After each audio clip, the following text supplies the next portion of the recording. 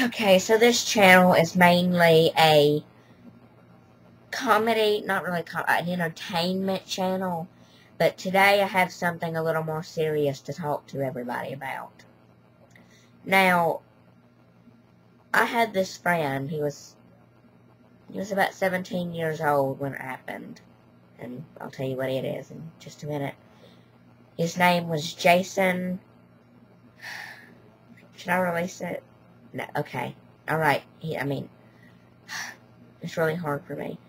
His name was Jason Narreth, um, and he was addicted to crystal meth, and he ended up shooting six, I just can't believe it, he ended up shooting six children for money.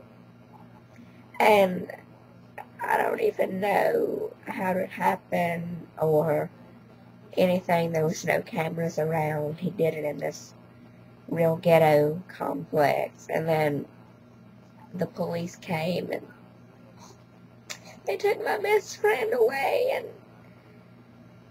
and but anyway, here's what's going on with Jason today.